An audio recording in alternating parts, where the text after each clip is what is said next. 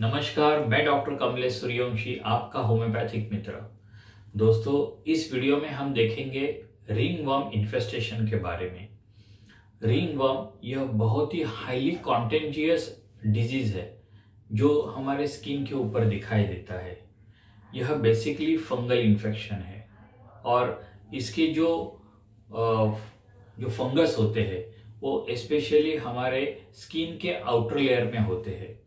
और इसीलिए इनका कांटेक्ट दूसरे आदमी से कांटेक्ट या दूसरे एनिमल से कांटेक्ट होके उनको इन्फेक्टेड करना, यह बहुत ही कॉमन बात है।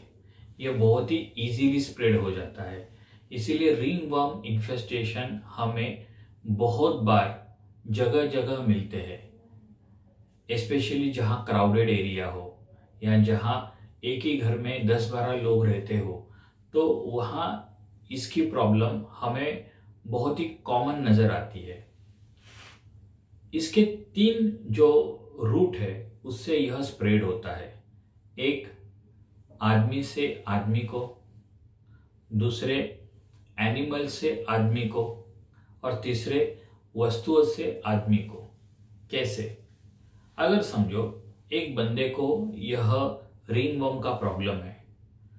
और उसका तौलिया अगर हमने यूज़ किया, उसका कोम्ब हमने यूज़ किया, उसका शेविंग किट हमने यूज़ किया, उसके कपड़े अगर हमने यूज़ किए तो उसकी जो इन्फेक्शन है, उसके उसके स्किन के ऊपर जो जो वर्म्स है, वो हमारे स्किन को लग के वह इजीली ट्रांसमिट हो सकते हैं।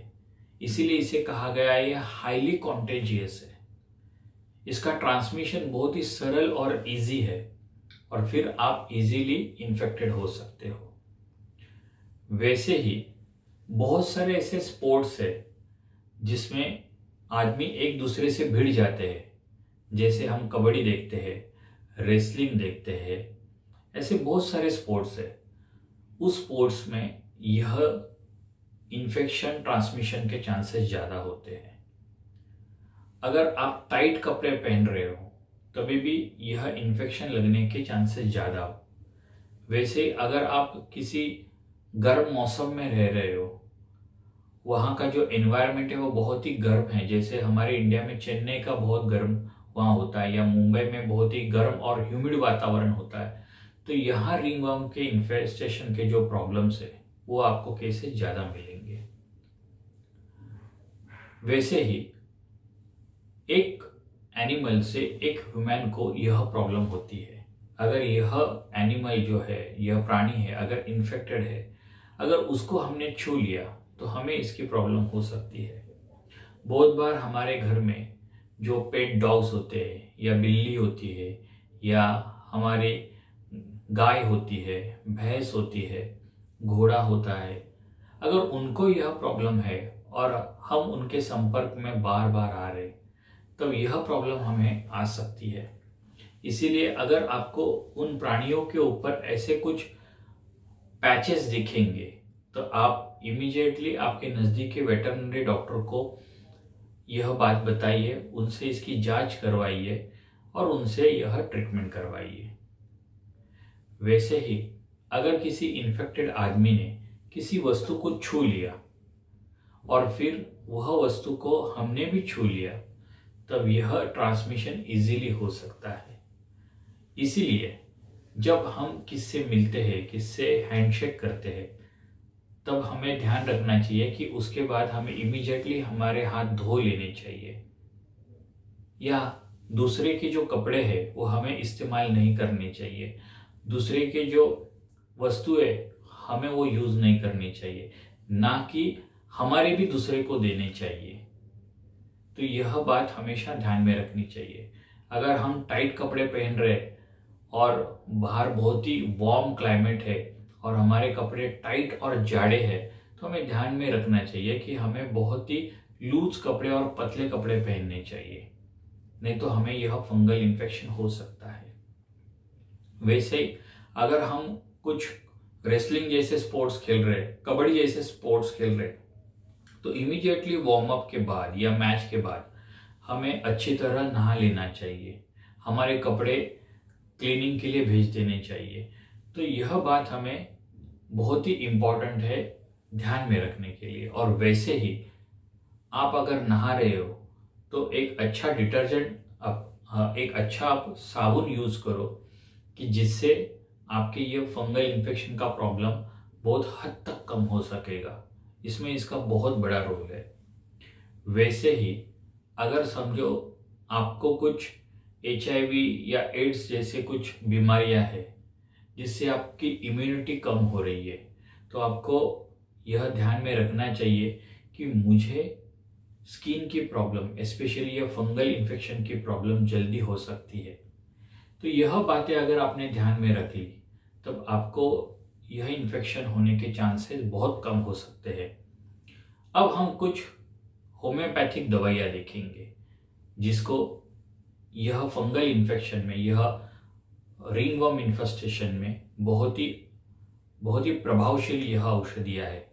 इसकी पहली दवा है, वह है बेसिलिनम आप इसको 200 या 1 एम पोटेंसी में हर सप्ताह एक एक डोज ऐसे तीन सप्ताह उसे दे दीजिए।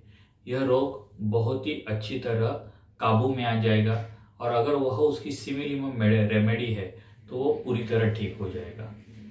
वैसे ही, अगर समझो, बहुत ही आपको खुजली आ रही है और खुजली इतनी है कि आपको वह, जहाँ इन्फेक्शन है, वहाँ खुजाना पड़ रहा है और वहाँ से जब खून आ जाता है, तब आपको वहाँ पीड़ा होने लगती है। अमिट प्यास लगने लगती है, बेचैनी लगने लगती है, तब आप वहाँ आर्सेनिक थर्टी का हर दस दस मिनट में उपयोग कीजिए।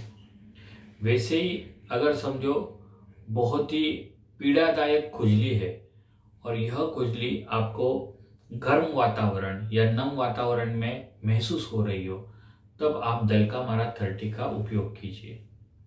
वैसे यह रोग बहुत पुराना हो चुका है, बहुत ही वहाँ ज़्यादा खुजली आ रही है।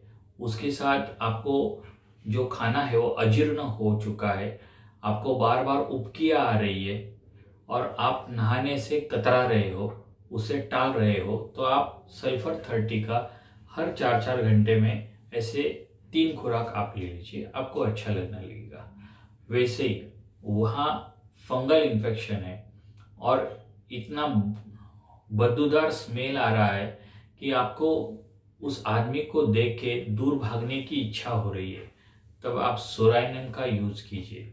वैसे पसीना बहुत बदबूदार आ रहा है और वहाँ गर्मी से या नम वातावरण से उसको बहुत तकलीफ़ हो रही है, तभी भी आप दलका मारा थर्टी का उपयोग ज़रूर कीजिए। अगर वहाँ स्किन की इन्फेक्शन है, वहाँ फंगल इन्फेक्शन है और वहाँ जो हमारी लहसुन होती है लहसुन उस लहसुन जैसे उसके बॉडी को अगर बद्दू आ रही है, तब आप टेल्यूरियम थर्टी का हर तीन तीन घंटे में ऐसे तीन खुराक उसको दे देना, यह आदमी बिल्कुल ठीक हो जाएगा। तो यह कुछ होम्योपैथिक रेमेडीज थी। अब मैं आपको एक छोटी केस बताता हूँ। कुछ दिनों पहले मेरे पास एक डॉक्टर साहब ने एक केस रिफर की थी। उस महिला को इस रिंगवर्म इन्फेस्टेशन का प्रॉब्लम था। वो डॉक्टर साहब ने बहुत दवाइयाँ दे चुके थे, लेकिन कुछ उससे फ़र्क नहीं आ रहा था। तब मैंने इसके स्वभाव के बारे में पूछा।